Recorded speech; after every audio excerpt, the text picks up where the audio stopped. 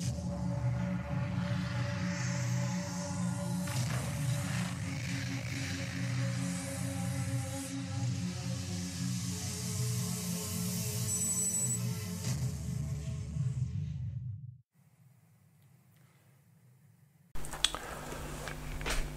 Welcome everybody to this World Satsang on the 28th of July 2018 in conjunction with Kevin Moore and The Moore Show and I thank Kevin as usual for putting the World Satsangas onto his YouTube channel uh, which is called The Moore Show and there's also more talk there as well where Kevin has a number of different interviews with different individuals of, of note from the metaphysical and spiritual worlds. Okay so this particular uh, World Satsang is going to have quite a lot of questions so I'll have to get on with my my talk, which is about the versions of event space. We'll then go through the questions, and then I'm going to do a meditation to release links that uh, stop us from moving forwards in our incarnation. And, and, actually, these links can be classified as links we have with people or links we have with ourselves in previous incarnations, so that things we've brought through with us that, um, if, you to, if you want to call it, cause a problem with us in this particular incarnation are sometimes linked with us, and so we can remove those links as well. So it's links with people. Um, those people can be also a karmic link as well, and links with our with ourselves in previous incarnations. And usually the, these links with ourselves in previous incarnations are um, to do with how we've left our incarnation.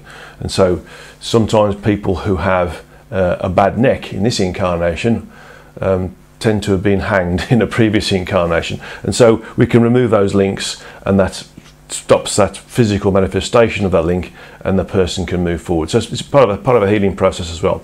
So we'll go through that. It's quite a simple meditation process um, and I'll be guiding you through that at the end. Okay, so let's have a look at the, the versions of event space. And it's interesting this is because um, I've uh, been developing a, uh, a presentation for one of the conferences I'm going to next year called the Multidimensional Show, which is actually held in Birmingham in the UK. And um, one of the things, this, this particular presentation is called The Road to Sentience uh, and the Greater Reality. And part of it is to do with event space. So all of the information I'm going to be talking about today is going to be in that presentation as well. So event space really is what um, we exist within, within the space that is within the, the source, with, within the space that the source is in within the, the origin. It's, it pervades the origin, therefore it pervades the source, therefore it pervades our multiverse, therefore it pervades our universe. And it, it is what we exist within. We don't exist in a time, space, time continuum, so to speak. We exist in a an event space, um, or volume of event space that we that we sort of create around ourselves.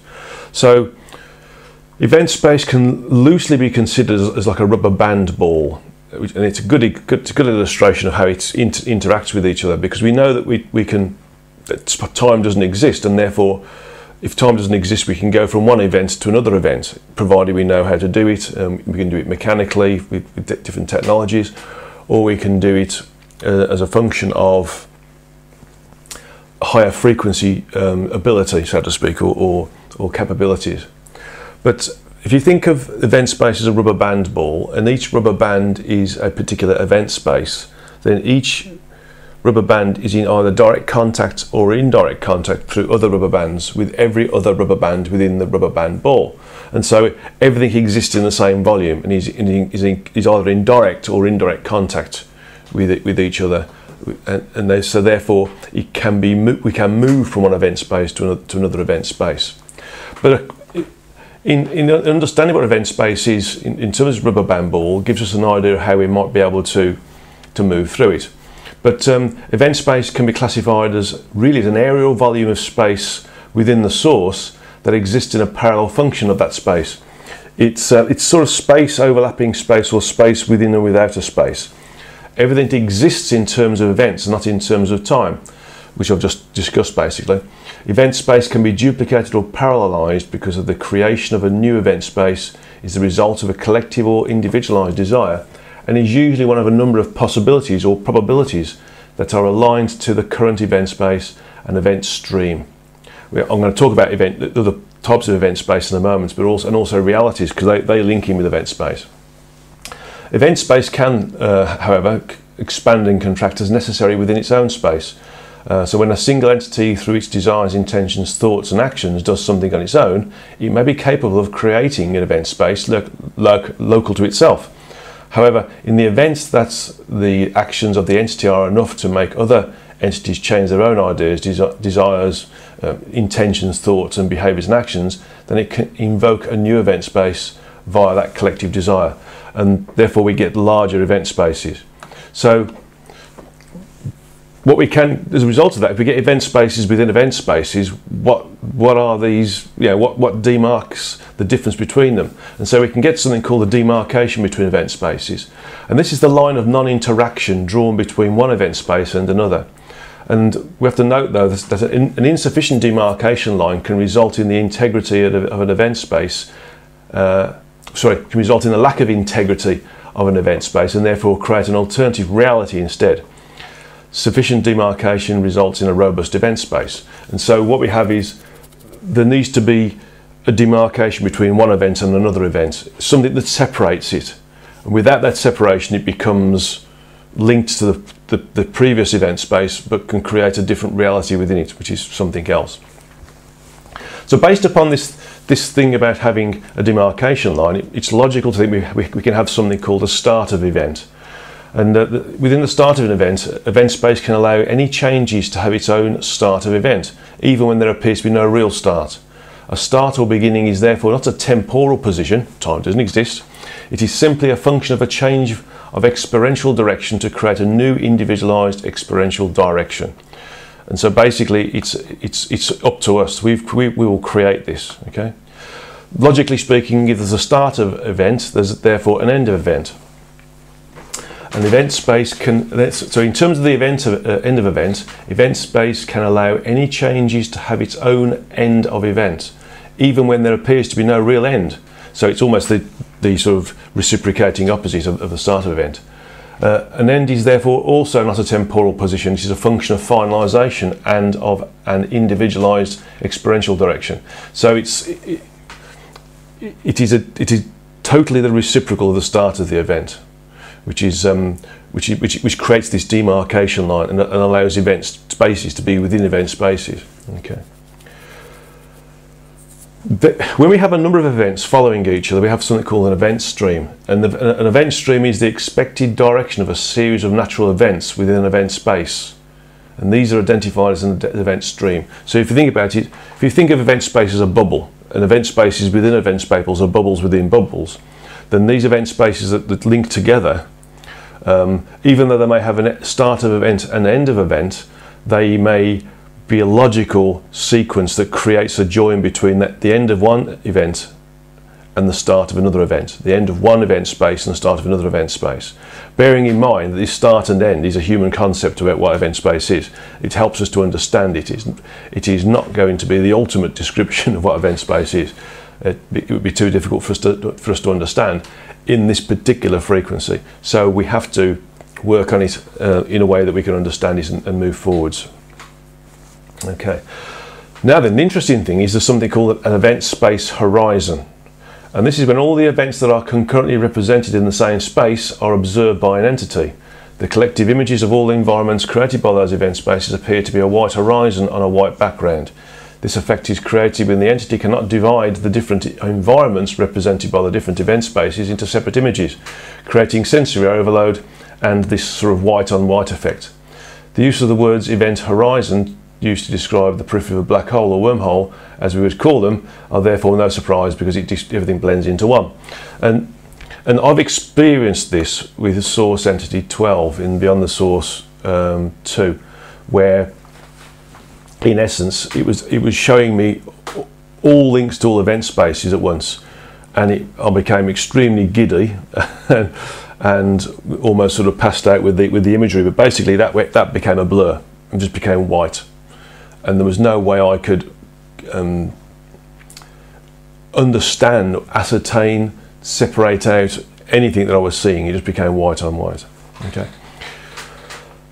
Now we've we talked about events streams and events spaces, but there's something called an event stream bubble.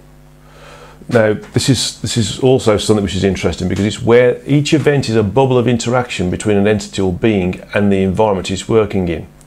the bubbles of events can grow and explode into another bubble or shrink and implode into nothingness. Bubbles that grow sometimes explode into another bubble that is nearby, creating a new but combined bubble. Okay, they can explode into a new, new bigger bubble, allowing them to cope with an expansion of, of, of fractal events or event fractals, depending on how you want to say it, that are still combined together in the space, the event space, which was created for the original and static event stream. Those bubbles of events that shrink and implode either disappear totally, thus, re thus representing the end of that particular event stream, or they can implode and reappear in another event. When a bubble has a naturally ended, ended its usefulness, it implodes back into the originating event stream bubble. So what we have here is the, the creation of events and event streams within event spaces uh, as a bubble of events with event streams. Very complicated to think that everything that's happening around us is, is subject to these different types of rules, so to speak, or, or not so much rules, more um, functionality. Okay. There's also something called a micro event space, and it's really a microscopically small event space that is specific to the needs of an individual entity, being, or environment. And so, really, it's um, it's something which is so small. It is it is almost you know, can almost be individual sized, yeah, human sized or room sized. Okay, so so this is something which is which is worthwhile considering that we have we can have our own event spaces, but, but something called realities are also uh, linked into it as well. So I'm going to give you uh, some information about realities as well, not just not just event spaces, because realities are created through event spaces being generated.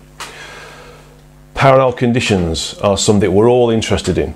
Now, a parallel condition is the duplication of event space. It is the creation or generation of a new but similar event space when a choice can be made and that choice or the possibility of the choice or the possible possibility of that choice results in a large, large enough downstream differential to create a new series of experiences that are self-contained and independent of the event space they separated from. So the, within this, the overall size of the event space is a function of the inclusion of other entities or beings that interact with the initiating and subsequent downstream experiences generated from the initial choice. So this is this is how parallel conditions get created. Now, a parallel condition is a, is a creation of a parallel universe, for instance. The parallel universe is created through the generation of event spaces of the various different types we've talked about. Within all of these is something called reality. And the reality is simply an environment and interactive condition we create as a desired function of an event space or event stream. It is an entity or being generated perception based condition. It's what we feel the event space is doing for us. And the, in effect, we get, we, get, we get a lot of this because it's, you know, we, we create our own realities around ourselves. And one person's reality is completely different to somebody else's reality whilst in the same event space. Because there's going to be links between the individuals that support the, the continued existence of that event space even though their personal realities are different, or maybe even their alternative reality. Because an alternative reality is a personal or group based perception or, or, desire for a certain experiential environment within a known environment relative to their thoughts, behaviours, and actions, and the desire to ignore that which one doesn't desire to interact with. This is a good way of describing people who get involved with things like conspiracy theory. They choose to work with the conspiracies rather than hard evidence, which is something to, to think about. You know, we create that which we want to create around us. Birds of a feather flock together. We like to work with people who think in the same way as us, and therefore we create our own reality within an overall event space. But there are such things as overall reality. and the overall reality is the experiential condition that is created by the existence of the sentience that is the origin. It contains all of its personal experiences, growth, realizations, creations, and explorations of self. It is the only reality that can be considered static in function and observation. It is what we are part of. So everything we, we do um, within the source is a function of this overall reality within the origin. And in fact, everything we do is part of the origin's overall reality anyway. Then we can go into um, various demarcations of reality as well. And I'll start at the top and work, work my way down. because um, there are such things as multiversal reality. And a multiversal reality is the experiential condition that is created by the governing entities responsible for a specific multiversal environment within a specific source entity. It is a generalized function of reality and is subject to change both by the planners, other curator functions, see the book The Curators when it comes out, little plug there, and the interactions of the incumbent beings that are working within that environment.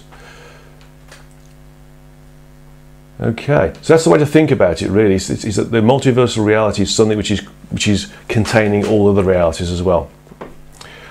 So let's talk about the the universal reality, which is a subset of a multiversal reality, because it's a smaller representation of the multiversal reality, in so much as it starts out to be when a when, when a multiverse and its universal components are first introduced as a medium for evolutionary progression. The universal reality can only be changed as a result of all entities within that environment choosing to change the reality as a total collective. So if everybody in our particular universe wanted to move in a certain direction and change everything relevant to a, a collective desire, then we can change the universal reality to, to being um, concurrent with that desire. Other than that, it becomes smaller, such as a global reality, because a global reality is a further dissection of the overall theme of a reality. It is relevant to an area within a universal reality that affects a large but not significant number of entities within the universal environment. The global reality can therefore be described in terms of, of being akin to an area the size of a galaxy, and that's the way to think about it really. It, it, global reality isn't specifically uh, on a planet, it can be the size of a galaxy really. That's, that's the sort of the size of it. That's my way I'm, I'm working it anyway. If, if, if, the listeners or the readers of, of, of my books want to consider it in a different way, you can do. It's what you're comfortable with that makes it work. Okay. Local realities are, are a, again a further dissection. It is the official start of convolution within realities. This is a reality within a reality within the universal reality. Local realities can vary in size and number of interactive entities. Local realities are, no, are normally created, um, by the way, when a, a group of entities choose to not only change the function of their interaction with the overall reality, but actively choose to disassociate any previous knowledge with the former reality itself. So they, this, this is when, like I say, people group together and create their own reality, live in their own um, environments, for instance, um, like in a in a, um, a kibbutz, for instance, or a, a, a, small community, or simply interact with others of the same thought uh, thought processes as well. The next one is a locally individualized reality, which is, a which is relative to small groups of entities within a local reality, such as those living within a certain country. And uh, this occurs when entities are aware of the local reality but are unable to change the reality that has been changed for them by more influential uh, entities. Uh, and I guess this is, with some of us are experiencing some of this right now with some, some of the um, rather bizarre changes to reality that our our governments are making. so this is um, this is this is a good example of how we can exist in a reality but not change it because it's it's it's influenced by other entities or beings which are more powerful, so to speak, and have more ability therefore to change the reality that is around us. Okay. The individualized reality is the, is the final step down. That's, this is the smallest reality we can have. It is what entities with individualized free will choose to create around them. And, and in some instances, the, the fully individualized reality can create full separation from the greater reality. This is when somebody um, becomes a hermit, for instance, or, or, or, or, goes and disappears or becomes you know, separated out from society. They live in their own world, they live in their own house, they don't interact with others. And so this is a, a, an individualised reality that still interacts with the locally individualised and the local reality and the global reality and the universal reality and ultimately the multiversal reality, but it is specific to that individual in their own, their, their own particular space. Okay, so that's the, uh, the total description of what these different realities are. Um, but you, you, you, might notice that I, I, started to call things entities and beings. And um, there is a difference between an entity and a being, and I, and I would suggest that you, when it comes out, read the, the full dialogue that um, I ended up writing down with my talks with the source entity on this because in essence, an entity is an individualized unit of sentience given a body of energies by the division of sentience away from a higher entity by that higher entity. For our true energetic selves, that's our, our TES um, being separated out or individualized from source. Or from the soul's perspective, it is the individualization of sentient and sentience and energy from the, the self. Whereas a being is something different. It's an individualized unit of sentience that is developed independently by the function of similar, same, or sympathetic energies collecting together and evolving over a period of time. Time doesn't exist over a period is a better way of saying it. But this, this is what you could classify as being Darwinian sort of uh, evolution, where you know different en energies get attracted to each other and, and grow in size, and then there's, there's, there becomes a, a desire to group together with other energies of the same type or similar type, and then create something bigger, and it starts to grow. That movement away from um, a desire becomes sort of a, a, very minor intelligence requirement to group together, and it becomes intelligence, then it becomes self-aware, and even conscious, and everything else. That takes a that takes a long period, but in essence the difference between a being and an entity is, is, is that in a, in a particular evolutionary cycle, the entity has more capabilities or more abilities or functionality than a being. But when they, they, they both get reinserted into a new evolutionary cycle, they're both equal. It's just that that particular evolutionary cycle, the one has gained sentience through a, an evolutionary route rather than through a, um, an individualized route by a higher entity giving individualization to its own sentience and energy to create a smaller version of itself. And, but, but once it's gone through this evolutionary cycle, it gains the same level of status. Time for another book, I think, in that instance. Okay, so let's move on to the questions we've got. And uh, we're not doing too badly in terms of the time, so I'm really pleased. I apologise if I speak quickly, but um, this, is, this is how I work. So um, hopefully the transcript will come out from the lovely lady US who um, takes on board the transcription and uh, writes it all down for you for those people who can't understand my West Midlands accent. Okay, this is a, a British West Midlands accent, which is a bit of a mixture of everything. Right, first questions. Um, and this is to do with incarnation, basically. It's, it's by the lady US and some of the some of the people who uh, interact with her through her, her own website. Why are the physical vehicles limited in the number in the physical universe? So the higher selves have to queue up to send souls to incarnate. That's the general question. There's some sub questions, subsections to this. Why shouldn't some higher selves create more bodies for souls to use at any location or any point in time, meaning event space? Um, why do they have to have to transport different vehicles or racial forms to our planet uh, from elsewhere in the, in the universe at different time points? Oh, that's a separate one. I'll work on that. And why were they not created right here in situ to, be, to begin with as needed?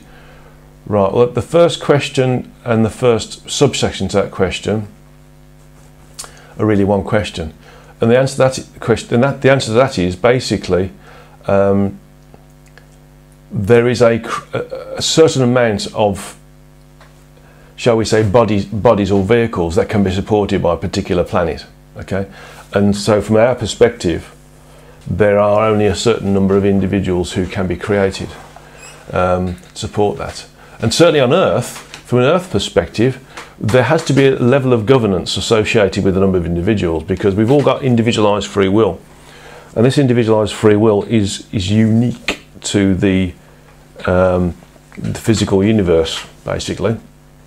And it's, it's, unique to any, multi, any, any universe within, within the uh, multiverse apart from obviously when we're when we're energetic, we are normally part of a larger collective of ourself and and source.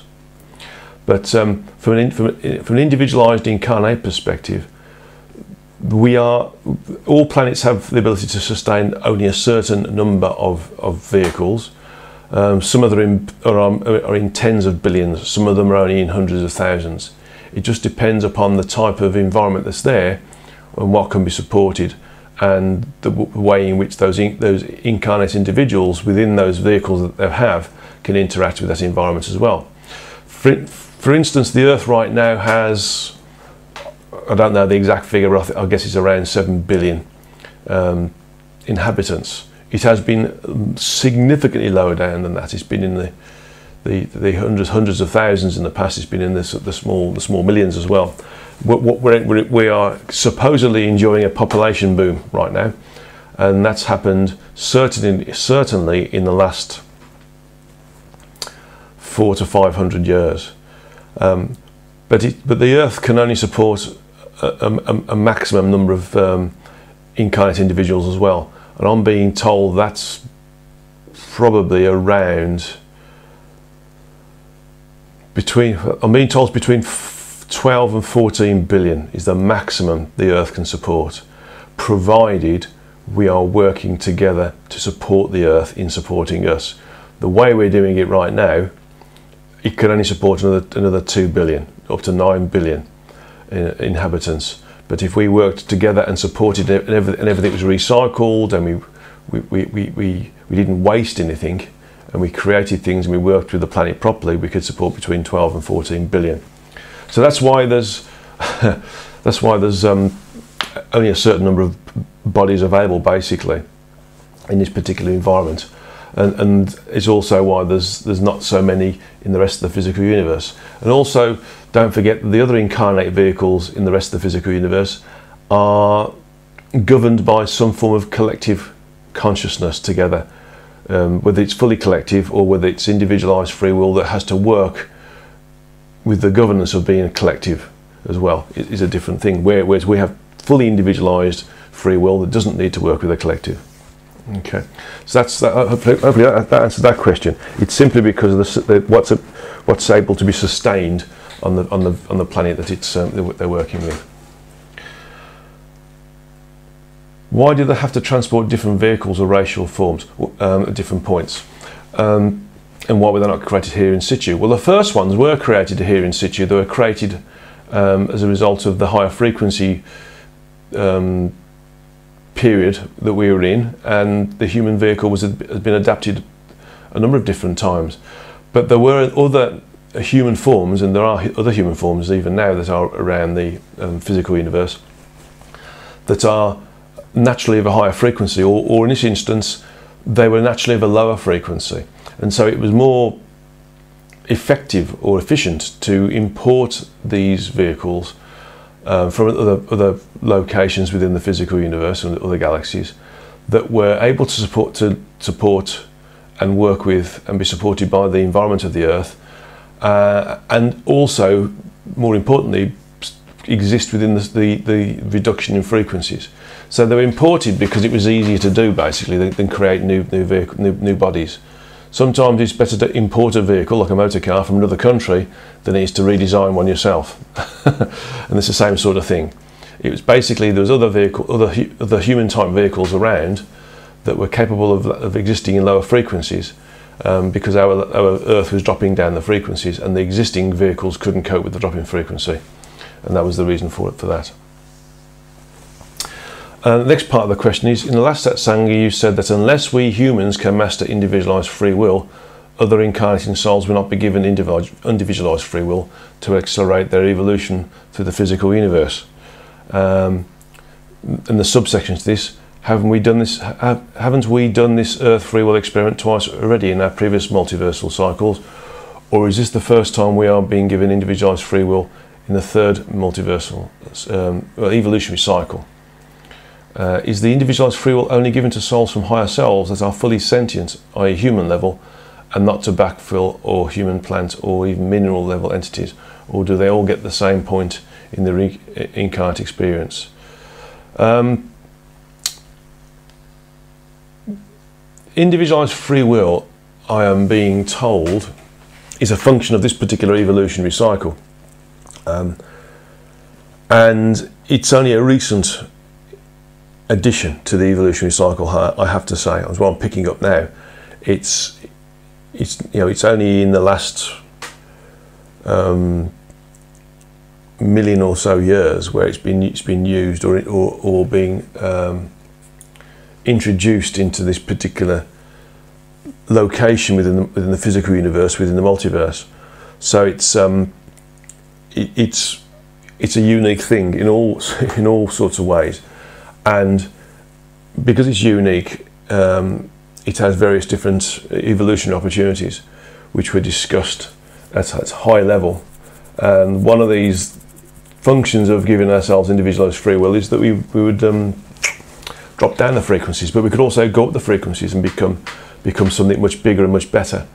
The the issue with it is that we are currently dropping down, but we have the capability to reduce this and stop this drop and increase and benefit from experiencing lower frequency thoughts, behaviors, and actions, and apply um, governance of ourselves whilst incarnate to ensure we don't go down these levels again and we learn and subsequently evolve from being in the lower in the, in the lower levels because we can see how difficult it is and how damaging it can be to others who incarnate and the environment around us.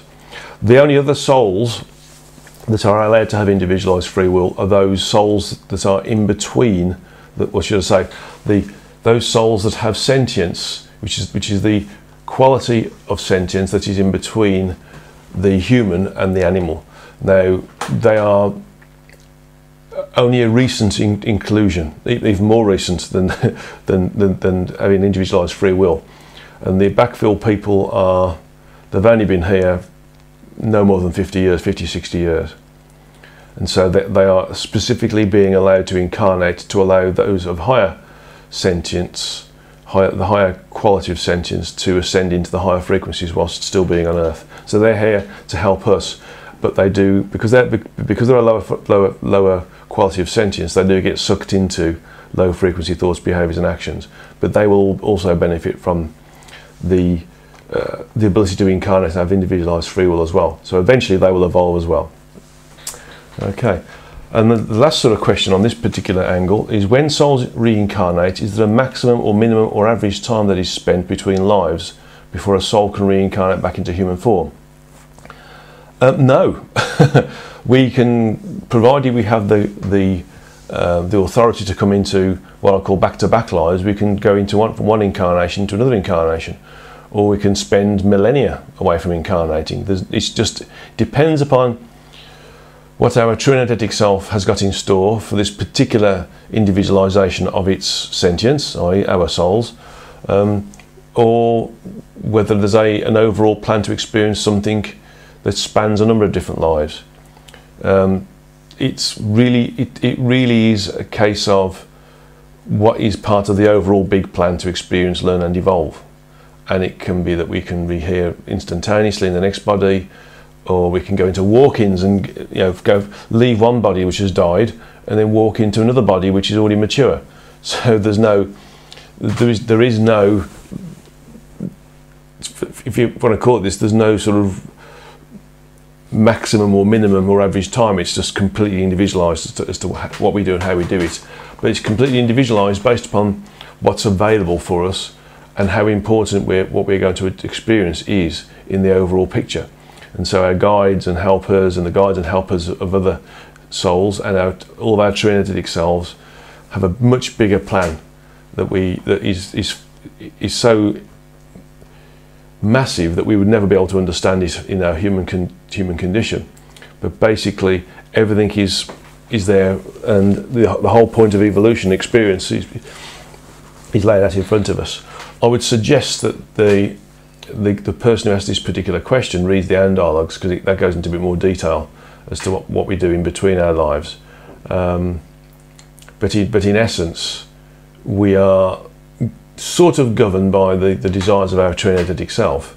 Uh, but we can all, but depending upon our own evolutionary level within the evolutionary level of our true energetic self, we can also influence our true energetic self as well if we have a plan. And that depends upon the type of um, recommunion with our energetic self we have. Okay. Good questions, though. Good questions. Next question's from DC, uh, who asks Towards the end of the History of God book, page 387, chapter 32, the source entity and the Council of Twelve is, is, is commented upon.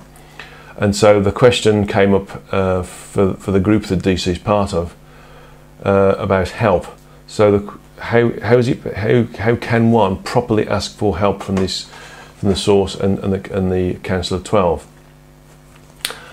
Um, my understanding is that these individuals don't get involved I mean, the, source, the source entity, we can always we can, yeah, we're all connected to the source entity because we're all smaller uh, subsets of individualization of, of, sentient energy from the source.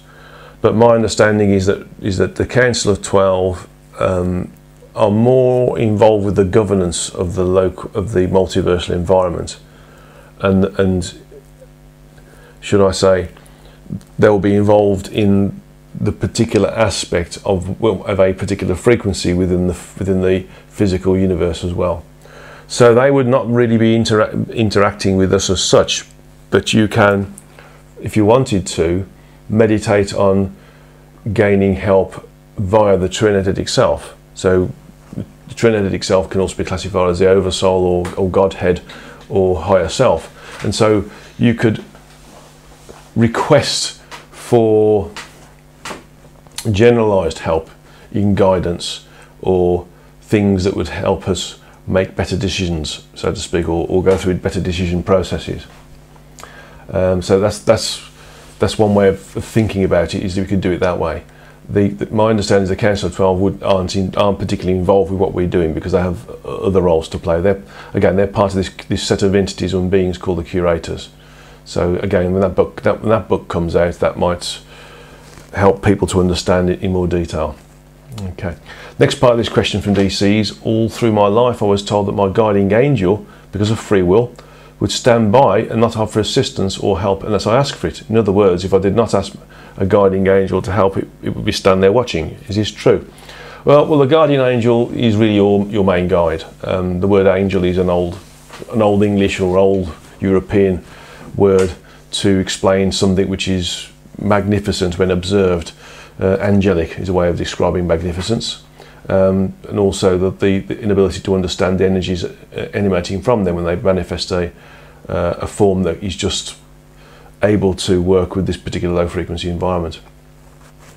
But they're always there working with us. Um, we're always able to communicate with our, excuse me, our guides and our helpers. Um, and sometimes that information comes out in various different ways. I always tell people if they want to meditate on their guide, just just meditate on the guide and ask for ask for help or direction and guidance. But be aware that the the direction and guidance might come through a number of different modalities. It can be um, from a clairvoyant perspective, you can may, may, see things in your mind's eye, maybe clairaudience, hear things in your mind's ear, or clairsentience, just a knowingness. It can also come through guidance through dreams or images through dreams. It can also come through uh, various different things being said to us by family or friends, work colleagues, and even things we see on the TV sometimes, or other things that are happening around us, like reading, like reading a paper. So sometimes they can give us the information we want, or, or, or point us in the right direction by using the natural uh, functions of the media that we used, both both metaphysically and, and physically around us. So it's simply a case of meditating and knowing you can contact them. Don't just believe it, know it, and then and then you'll then you'll get information in one of those various different modalities I've just described. The uh, other question is I've often had dialogues with spirit, uh, with spirit will throughout the day, and at the end of the day when I'm reviewing my day, I often feel disappointed for not asking for particular help with difficult situations. So can we ask for help? Should we ask for help? Why should we ask for help or why should we not ask for help? And who particularly should ask should we ask for help from? Is it our higher self or our friends or source entity? An origin, master guides, help, uh, helper guides. If you can help us, we'd be grateful. Um, I would suggest that you work on your main guides first. The main guides are the ones who are closely connected to you. Clearly sources as well, but the, the, the, the main guide and the helpers are those who are ex expert in you as an individual. They they know what you've what you've experienced in previous incarnations. They know what you've brought in to this incarnation in terms of desires uh, for evolutionary progression. That they know what you've brought in in terms of your skill set that's going to help you to achieve these different desires of evolution, evolutionary progression. And they also are skilled in the experiences that you haven't had in previous incarnations that you're going to have in this particular incarnation. And so really they are they're there to help in every way, shape and form. So the best thing to do is to meditate on the guide and helpers that are linked in with you so that you can move forwards in a more robust way because they're there for you. And if you really do concentrate and meditate properly, you'll feel them around you anyway. They're out of sight. Some people can pick them up if they um, meditate on them and raise their frequencies. And one way of doing that is by using the chakra opening exercises in the previous two world sounds we've done. But really, it's a case of knowing that you can get help, but being open to all sorts of different ways in which the help can be given to us. And um, you know, and expecting everything and nothing, because because sometimes it can take a little bit longer. Sometimes the information can be instantaneous. Sometimes the information can take a couple of days or even weeks to come through. So it's it's, it's just being open to all all functions of communication with us, um, and, and being and being patient basically. Okay. Next uh, question is from MS, and she says, "Hi. Uh, so creating an event space to be happening in the now. What is now as time doesn't exist? I'm visualizing for my event space to happen now, but it isn't. Is it not happening now as, a, as the time doesn't exist? As the future arrives in the present moment? What is not happening now if that's my visualization? Um, MS continues by saying, I do understand the concept, but I'm aware lots of people would wonder why as well. If we keep visualizing where we're meant to go in the now, why is it sometimes happening in its why is it sometimes taking a longer time? Why does it sometimes take months and months till things happen? Is it in our life journey to experience and test ourselves, even though it can make us ill with the pressure we put ourselves under and the unhappiness? I've been brought up to trust in our Maker, and I, and I do in my heart of hearts, and I know that things will work out. Basically, it's all about why is time a delay if everything is meant to be uh, happening now? I meditate and visualize a mantra every day, but I'm still waiting for my event space to happen. My higher self totally understands the human vessel is under pressure, so seeing both sides is interesting. I hope this makes sense as usual. I have difficulties putting my thoughts into words. Well, I have to say that this is a very good question because if everything's happening now, why isn't it happening now? But we have to work with some of the event streams and the event stream bubbles as well that I've talked about in, the, in a lecture. So that's a good question to link in with that. Sometimes we have to work with certain events that link together. Now, this, this suggests that things are linear. Well, they sort of are and they aren't. They, they, they, they exist within and without each other. So the start of one event may be the end of a different event, or the, or the end of one event may be the end of another event and the start of another event. And so if you think about the way in which uh, event streams can, can work and can link in together as being sometimes they are linear, but sometimes they're fractals of each other. Sometimes they link back into each other. Then, the, then a good way of seeing it as an image is to um, look at a dandelion seed, where you've got this this thing that's just it's like a puffball of, of, of seeds that are linked together by these little little um, veins of fluffiness that allow the seeds to travel. But if you think about the central point of that particular seed on the, on the, on the, on the dandelion is the start of one particular event space and the, all the rest of those things that come off it are basically the, the fractalized versions of that, of that event space. They all link into the same event space, but they're all individualized as well. Then think about that central event space on the dandelion uh, seed as being also within the centralized point of one of those seeds. then you start to see that everything's linked in together.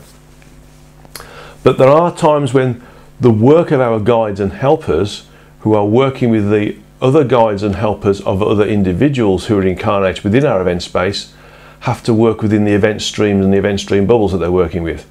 And so basically, we have to be patient for everything to be in the right event space. So although everything is happening in, in, in the now, there are times when event spaces have to converge to, to make it work properly. And so this is why we sometimes get the human perception of everything happening in different nows or different times, if you want to use an old the old way of saying it. But in essence, it's it's all about understanding that from an overall perspective, when we are disincarnate, everything is happening in the now. Everything happens instantaneously. So all different versions of things happening happen uh, you know, ha happen concurrently, and it can happen concurrently now, or concurrently in a month's time now, or in three months' time now, or two years or ten years' time now, or two centuries now. It's just about, it's all about logging into the different event space that's giving you the version of now that is giving you what you're expecting to be happening. Because if something is happening now and you're experiencing it now, it's because you're supposed to experience it now. If you're able to turn off this connectivity with this event space and move into a different event space where the other version of now is happening, that would be a version of now in three months' time, for instance, which is a temporal thing, but let's try and ignore that as just an example. Then you bring that three months now into this now, and therefore you can therefore experience everything concurrently.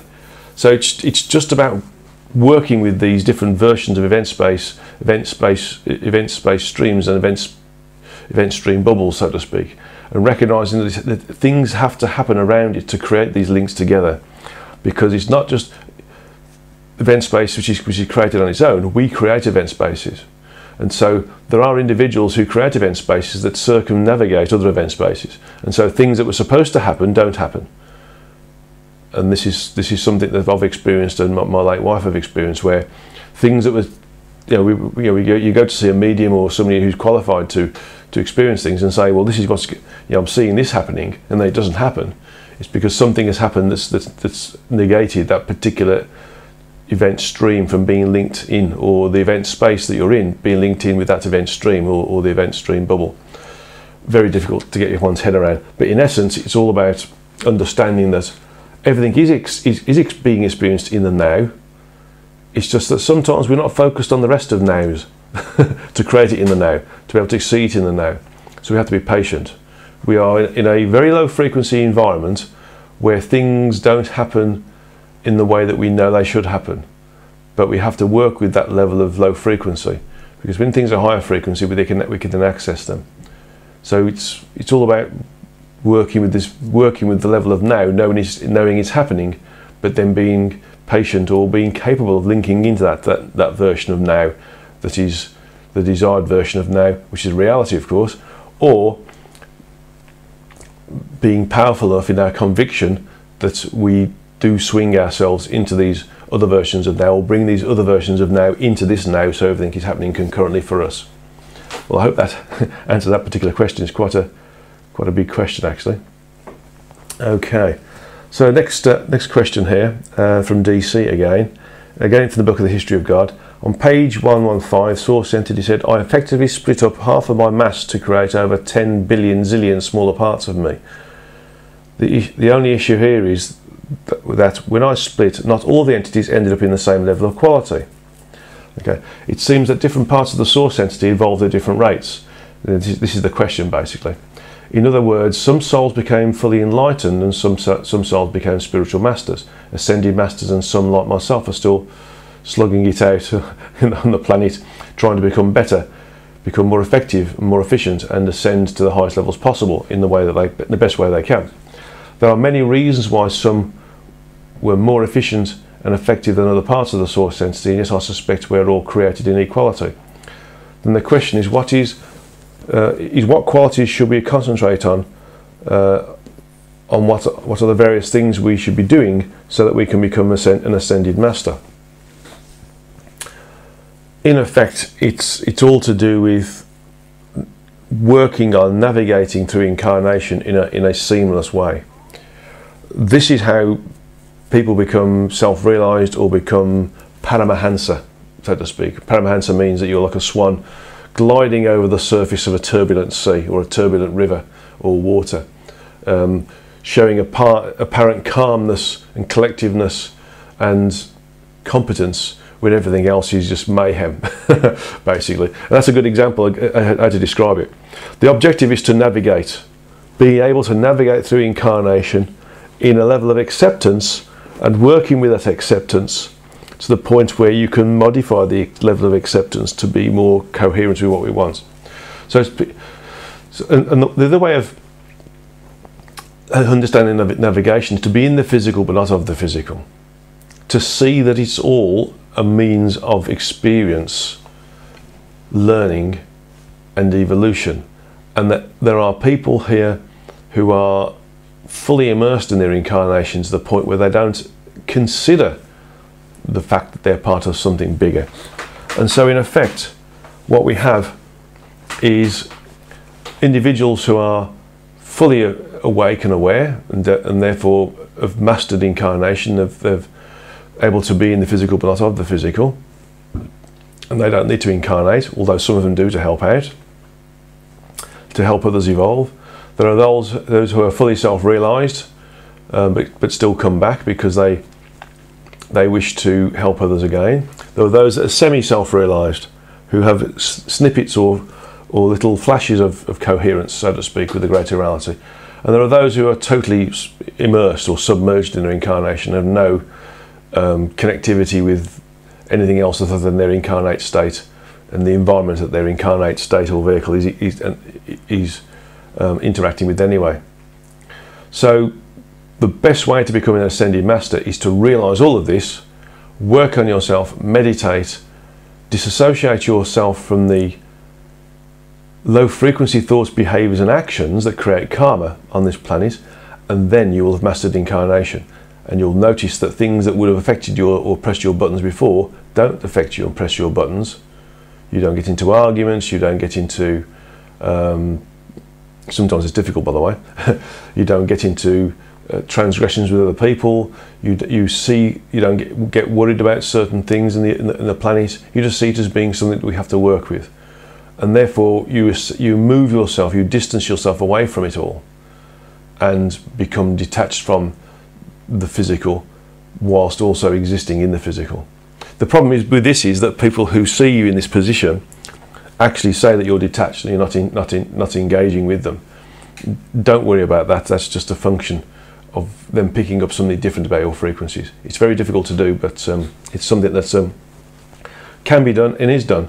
And uh, in some respects, in some respects, I've been doing it all my life. And when I, when I look back, some of the things that would have affected people big time don't affect me, and, and or didn't affect me. And I've and I've also moved beyond certain levels of, of being affected as well. Uh, and everything else is just work in progress still with, with me and with with other people who've uh, who supposed spiritual leaders. Um, any any spiritual leader who says they've made it, he hasn't made it at all. You're always working on yourself, and there's always room for improvement. And so to become an ascended master is a big deal, a big, big deal, and something which is a very good aspiration, but takes a lot of time to do. A lot of time, a lot of experience, I should say, rather than time. Thinking about the previous uh, comments and the previous uh, lecture I've just given. Right, there's another two parts to this particular question, and, and so it goes. Uh, and so another question would be, why do some people apparently do better than others in the process of becoming the best we can? Why are some higher on the scale of consciousness than others? Did we take our eye off the ball? Were we playing, paying attention to the wrong things? Were some given better instructions than others? Or were the energetic selves of some more efficient than others? Were their guides and helpers uh, more effective or did they just simply do a better job at pre-planning their embodiments? What is the difference between one soul and another soul? Simply the journey. Um, some souls decide to take a longer period than other souls. Some souls decide to do a fast track level of evolution. And so the depth of experience, uh, even though they're highly evolved, isn't the same as those who may be lowly evolved and have a greater depth of experience. That depth of experience can and does usually create a, a, an increased longevity in lower frequency environments. And so the, the, the evolution is slower. Uh, the the movement forwards is slower because we get caught up in karmic uh, connections and connectivities and links and circles and loops and, and everything else to, to, do with low frequency thoughts, behaviors, and actions. So, in, in essence, we do get caught up with who and, we, who and what we are when we incarnate. We do decide on different routes to evolve, and that's this. And we do we do decide to have different levels of experience and some and different levels of, of, of interaction with others and, and this is the, the beauty of it all. It's, it's, not, it's not about who's doing well, who's evolving faster than somebody else. It's about how are we all collectively together assisting in the overall experiential and therefore evolutionary progression, not only of ourselves and our energetic selves, but the source. So we all have a role to play, and sometimes we play a role that is considered to be suboptimal from a human perspective, but in actual fact, although that's, it looks to be suboptimal from a human perspective, it's very optimal in terms of the overall experience that we, that we have and the evolution progression that we have and the speed that evolution progression that we have on behalf of our creator uh, and our creator's creator. So that's how, that's, that's how we have to think about it. It's more, um, it's more to do with an overall experience for the, the collective us, the source, and not just ourselves as an individualized unit of sentience from an individualized unit of sentience from the source. And that's the way to think about it. It's what we doing collectively that counts, not, not how we're individually experiencing it. Another set of questions from US, from a, from a, reader of US's work. Most psychics with true connection or insight to, to the one all what to the one all relay back that there is only one higher self or ID. To believe otherwise is totally false and illusionary. We are in fact one being, only pretending to be many, and then the, the one in an, in an endless cycle of creation. You may call these parts, oversouls, godheads, true energetic selves, whatever. But in fact, the illusion of being split, um, so, sorry, but in fact, it, the illusion is of being split. They are all one on an invisible level. So this is what so-called spiritual leaders are keeping secret. There is only one point of creation, call it what you will, God or the One, creating through its dreams and elaborate, highly complicated multitude of things, but all is illusion. We shouldn't forget this. That's true. Um, the individualization that we have or enjoy at the moment is transient. and this is a big issue for most people because they like to have their individuality.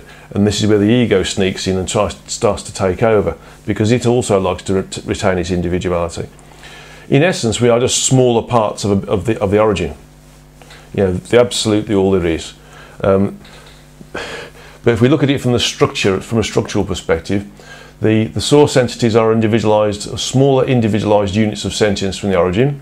Our true energetic selves are smaller individualized units of the, of the source entity.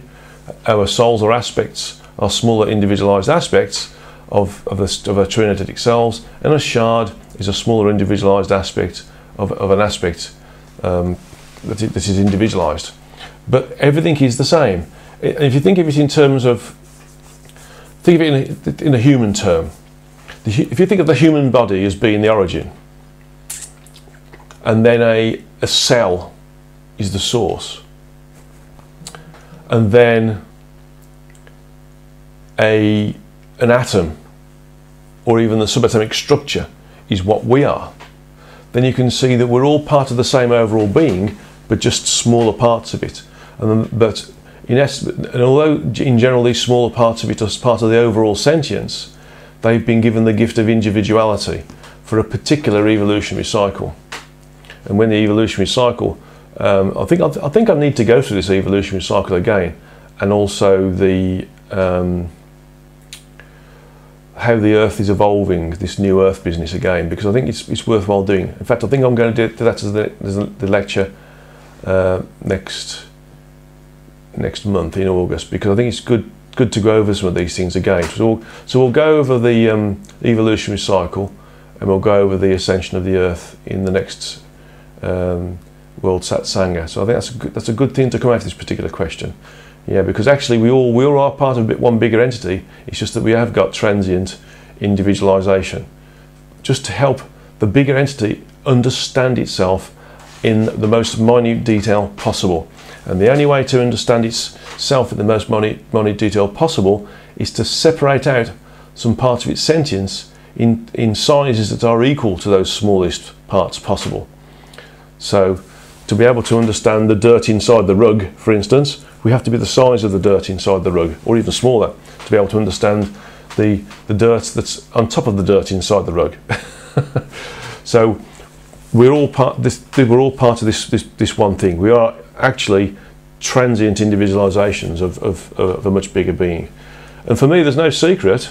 Um, why would we keep it a secret? It's just that there are those individuals who like to keep things to themselves to try to,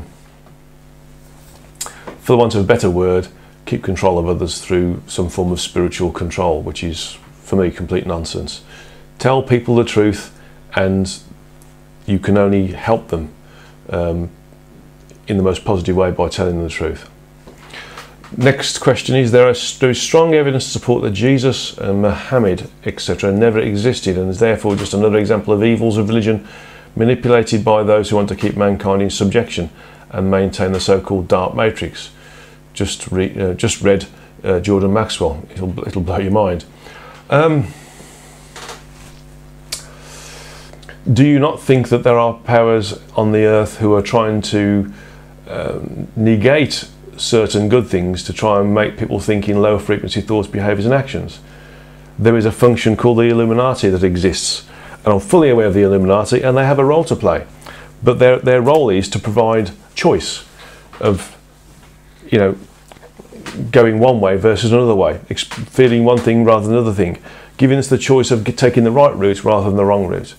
And, and there are, there have been masters on the earth, Jesus, Muhammad, the Buddha, Confucius, you know, a number of different um, Byzantine versions as well, Pythagoras, Archimedes, etc., who are here to help us understand and move forwards.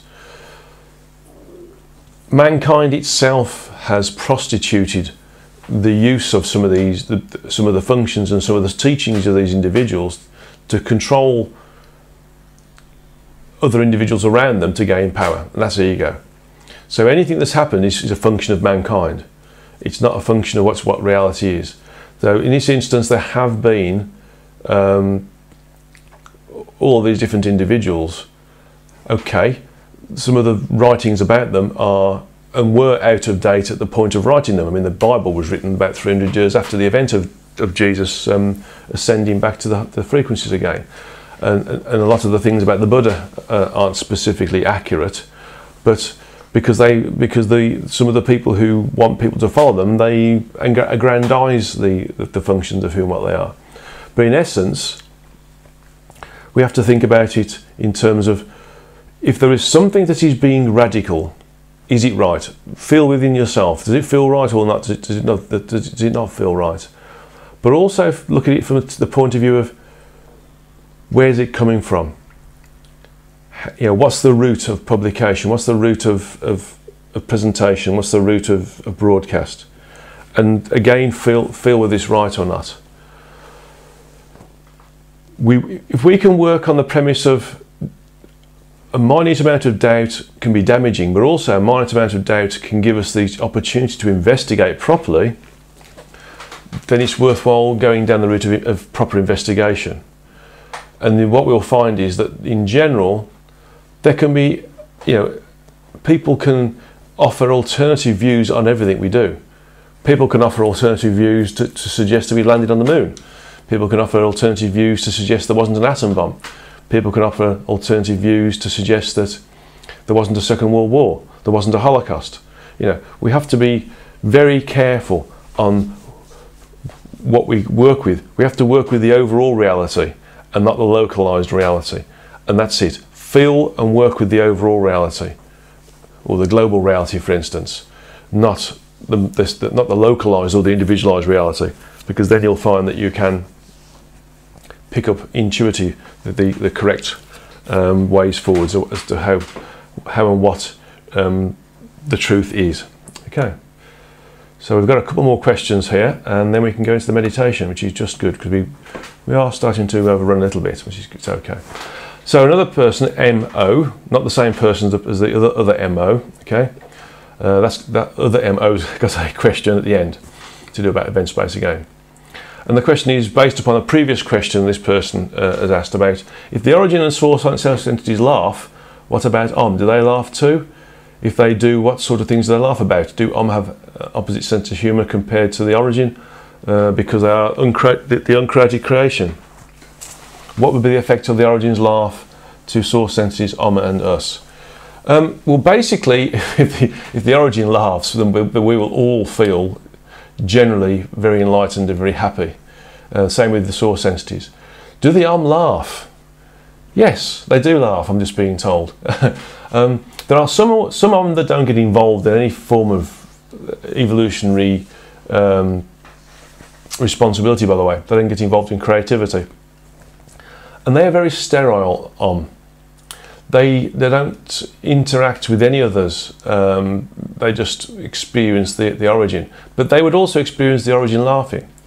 And I'm being told that they are interested in this phenomena, this interest in, in happiness or joy or, or, or delight, but they see it as being, in some respects, a waste of sentience, which, which I think is complete nonsense. So, but, this, but the, the Om that interact with other source entities do understand the concept of and are appreciative of the concept of, of joyfulness, laughter, expression, happiness, um, and, and, you know, and joy basically, and and also that that, that things can be enjoyed in, in terms of um, you know when we create as well. So I think that these are the armor of, of um, that, that I think they still need to evolve a little bit. So they're, they're, they're, a bit too sterile at the moment, even though they're they're the uncreated creations and they are not interacting with, with any other arm or being involved in the evolutionary cycle. They are um, they are they are subject to learning as well, same as everybody else. Um, the question on, on page 413 in chapter 30 of the Origin Speaks, you talk about a, a resin device with, with, with, crystals. You did not you did not use the word, but it is or, orgonites. Okay, if it is, would you ask the origin? Would it be effective or, or and ineffective, or could be dangerous designs of orgonites? Um, it would be very helpful to have some tips on how to make them properly because they are so popular. Um, yeah, well, it's basically. I was given one as a gift basically, and you can go. a lot, lot of these sort of spiritual conferences. You can get them. They're basically uh, mixtures of uh, crystals and rare earth metals arranged in certain ways. And my understanding is that they they can be beneficial, but they can be dangerous and they can be ineffective as well because they need to be joined together properly. It's all right having these things in, in resin to suspend them in certain positions, but they need to be connected properly together. And sometimes they need to be laminated together, for instance, or sometimes they need to be uh, alloyed together to make them working properly. They are simply a device in a way to gather energy, um, and sometimes in a way to transmit energy or amplify energy. So be just be very use your intuition when you're seeing these things because to work properly, the person who's done them needs to be or created them needs to be really connected. Um, some of them are information that's being given to us again from the Atlantean period. Some of them are basic physics, and some of them are new to us. But I would say that um, I don't know how to make them. Um, I'm being told if I, if I, if I concentrated and meditated that I would gain inspiration on how to make them properly, but it's not something I particularly need to use. Um, anything that's physical is simply a physical interface with the, with the energetic, and we don't actually need it. It's it's a way of saying that we're physical beings and we need to have something physical to make something physical work. We don't need to. We just need to know we can do it. And so having something that amplifies energies is actually detaching our, sover- our sovereign ability from us and making ourselves lesser than we are. So my thought processes are, why would you buy something that you don't need to have? That would go, would go the same for things like other crystals, rare earth metals, pendulums, various different types of cards as well. We don't need them. Just meditate and work hard on meditating, work hard on making yourself pure and then you'll be able to connect with these different energies and work and work them in the same way as these other devices purport to be able to work with them. Okay, next question is from the same person. On page 432 in chapter 33 of the Origin Speaks, the Origin was mentioning another entity uh, caught uh, its and all of their source entities' attention, causing them to gather and observe it before before you and it wasn't and it wasn't one of your peer group um then what was it entity wise where did it come from and what was it that to what was it that caused them to catch their attention I'm going to read this out again because I don't think it's worded particularly well I'll say it again on page 432 and chapter 33 in the origin speaks the origin was mentioning another entity caught its and all of the source ent- uh, caught it and all of the source entities. Oh, it caught it and all the source entities' attention, causing them to gather together to observe it before before you. And it wasn't your peer group, or um, what was it then? Okay, let's have a quick look. Well, actually, it took me a little bit of time to see this because it was more like page 436 in chapter 33 than page 432. Um, the other entity was source entity 12 because source entity 12 was seen in the book Beyond the Source 2 as moving outside of the current area of polyomniscient sentient self awareness of the origin to help to try to map it out. It had um, evolved in a quite accelerated uh, and bizarrely logarithmic way. And the other source entities were created a, an event space around themselves so they could all observe, observe me communicating with the origin because it was something that was interesting and, and it also allowed them to communicate with, with, with, me collectively as a whole. And the entity that was there was actually source entity 12.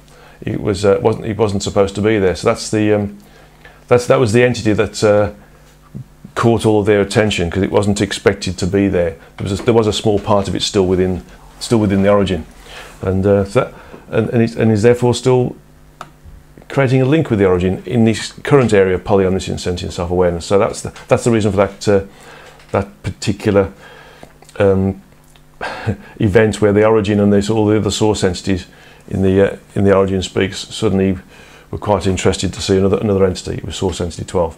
Okay. Last question from MO. This is the original MO. Another question about event space.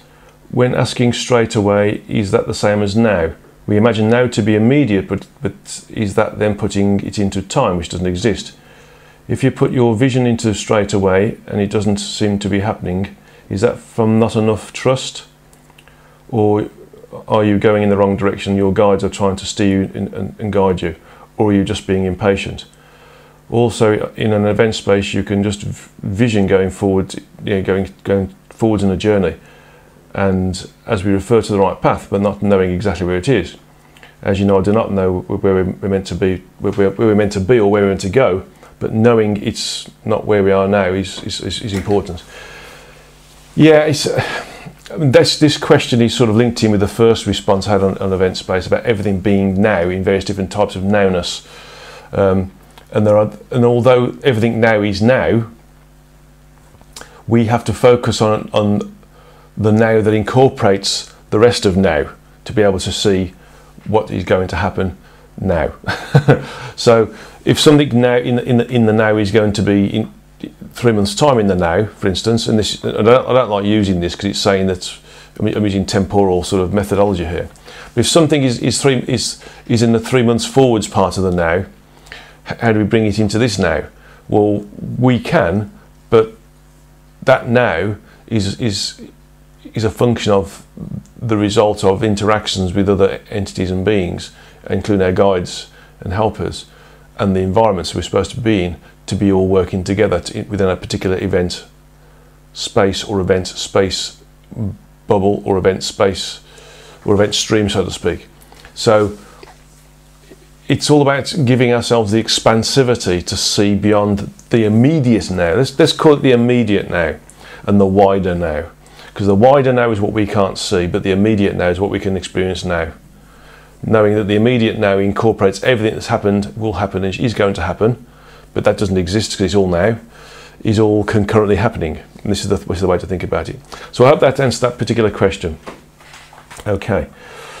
Right, so we need to go on to the, uh, the meditation, which is to, to sever links with other um, parts of ourselves or, or, other, other individuals. So this should be quite a, uh, a quick meditation because there's actually not an awful lot to it, to be honest. It's quite simple to do.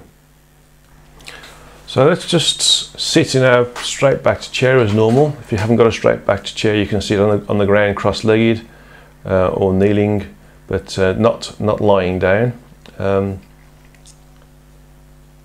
feet flat on the ground if you're on the straight backed chair, palms uppermost on your upper thighs, back straight, closed eyes focused on the origin of the third eye, which is in between the two eyebrows and above the bridge of the nose. And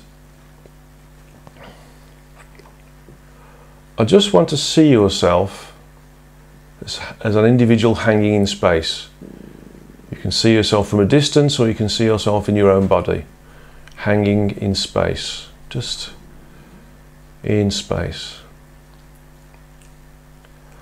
And then I want you to visualize another version of you. It can be the same as you, um, or it could be another person.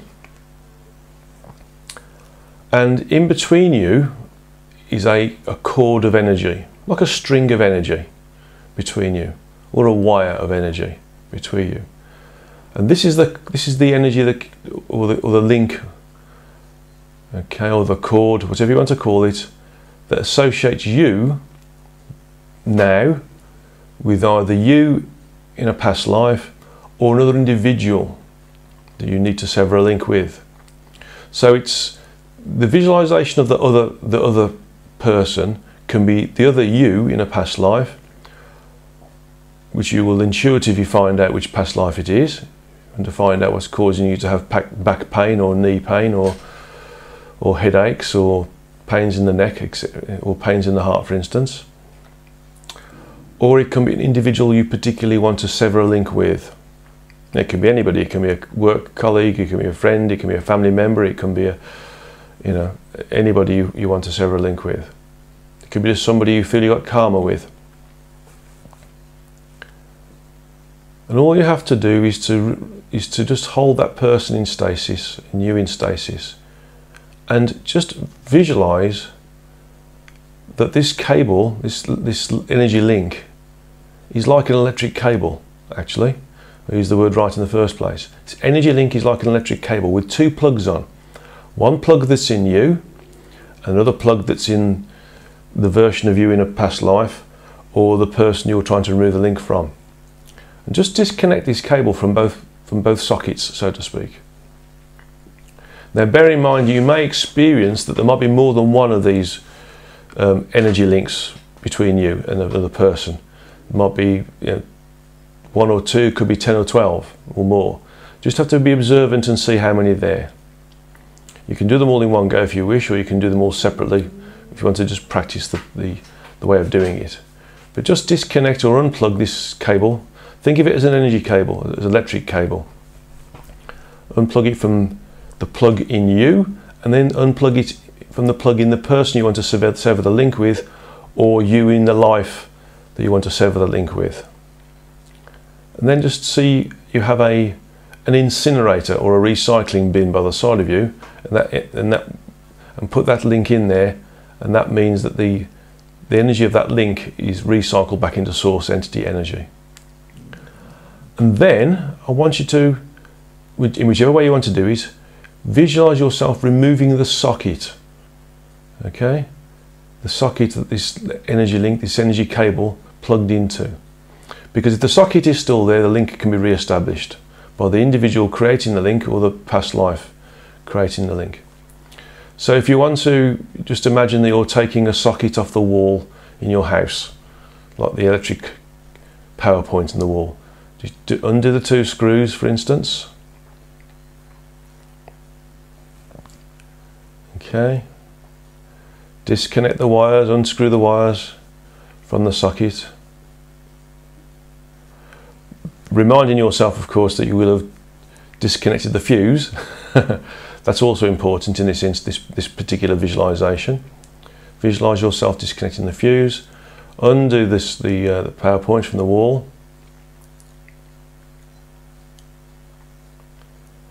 Okay, and then you can disconnect the wires from this fuse and, pull the wires out from the fuse box through the little channels or conduit in the wall out of the socket, the pattress we call it in the UK, out of the hole in the wall where the socket was. So removing the wires as well. This removes the wires or the, or the internal connectivity within you. And because it's disconnected from the fuse, from the fuses within you, and it's disconnected from the, the socket on the wall, and, and it's pulled out of the, the conduit, there is now no connectivity between that point on the wall of you or the point on the wall of the person you want to disconnect from, or the point on the wall of the oh, the other part of you in a, in a different incarnation, they the connection cannot be not be not be re-established. And then if you want to, you can fill in the gap, fill in the hole with plaster, if you want to call it that, or just visualize it being filled up with some material and then covered over. And that's as simple as it is. And when you'll find you've done that, when you find that you've recreated this hole within you, and if you want to, you can use the same method of creating this three-dimensional matrix and on, on seven different levels to do it as well. Every level associated with one of the chakras. So refer to the satsanga we had in, in June to help you know, reconstruct an organ or a, um, or, a body, or, a, or, or, a repair of part of the one of the levels of the one of the layers of the human uh, aura. You can use that function as well to fill the gap in, going from north to south, east to west, and forwards to backwards on the seven different levels associated with the energies associated with the chakras. And that will also fill up the area. It'll make it as if there's been no connection there at all.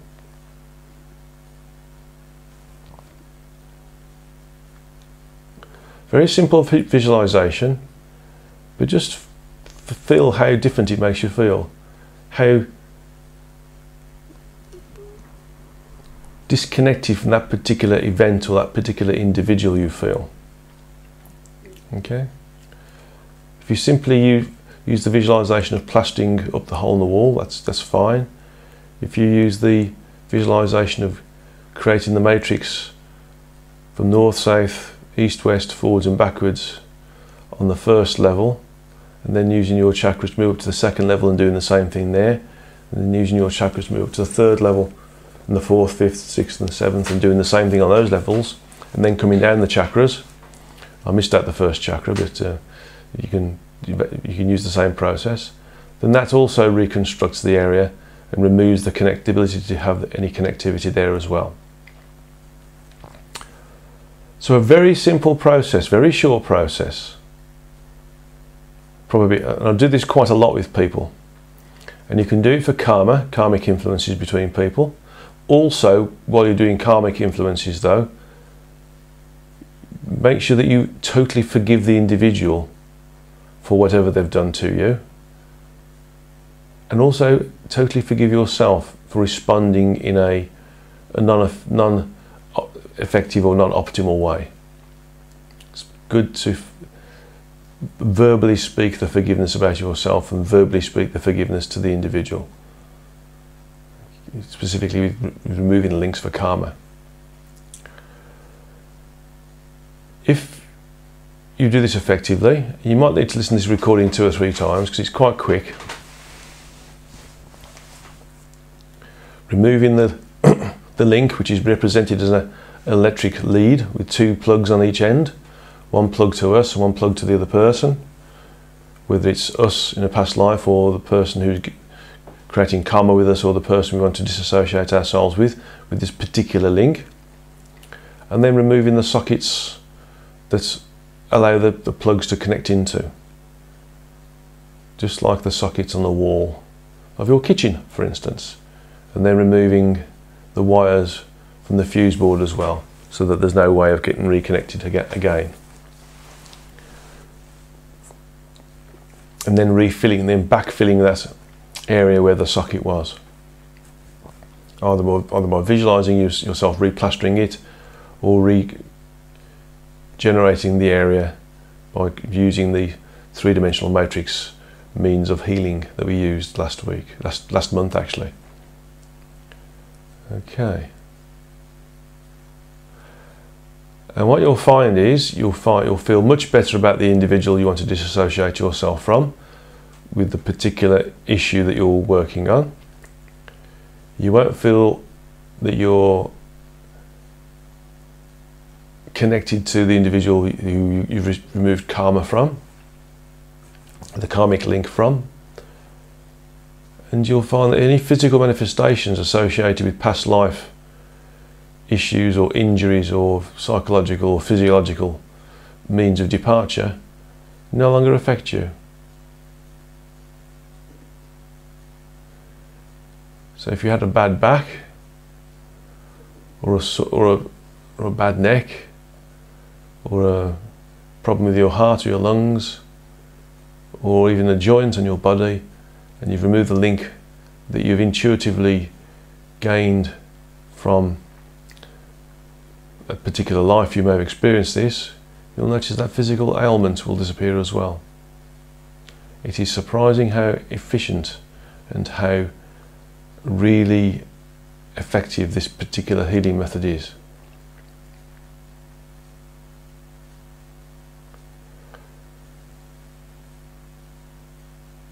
And so really that's it. All we have to do now is to bring ourselves back into the room. Okay, you're getting very good at doing meditations now with me and other people have no doubt. So we went into meditation quite quickly. We went into meditation quite quickly. So we can come out of meditation quickly as well. Again, come back into the room slowly. Take some deep breaths if you need to. Take a drink of water to help ground you. And then just sit silent for a bit and feel how you feel. And although I've not actually removed any connection from anything to myself, I've just done it as a, a generalized thing for this particular method of healing, I actually feel very light at the moment. So something somewhere is being released. And I'm fairly sure that you'll feel very light and very enthusiastic and very motivated as well. Because it will bring back a lot of different feelings of motivation and wanting to move onwards and onwards and upwards as well with it.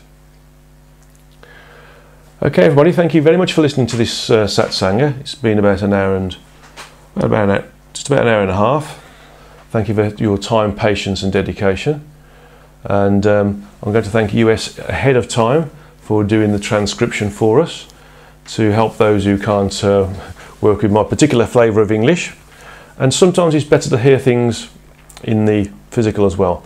Um, US also gets the questions up front as well, so that sometimes when I can't read the questions out properly the first time, uh, or get tongue tied, for instance, um, because of the English that's being used, the the questions will be written out um, as they've been given to us so that you don't need to worry about the, the particular way that I've uh, done the questions or, re, or read the questions out.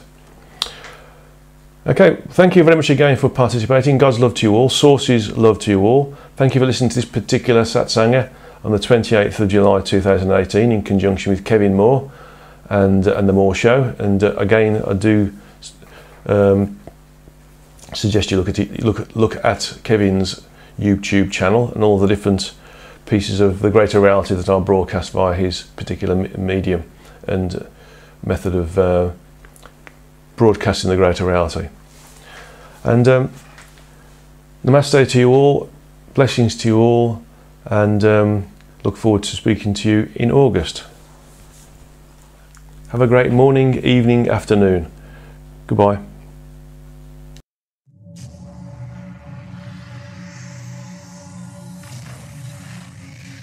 Did you see the aliens in Crete?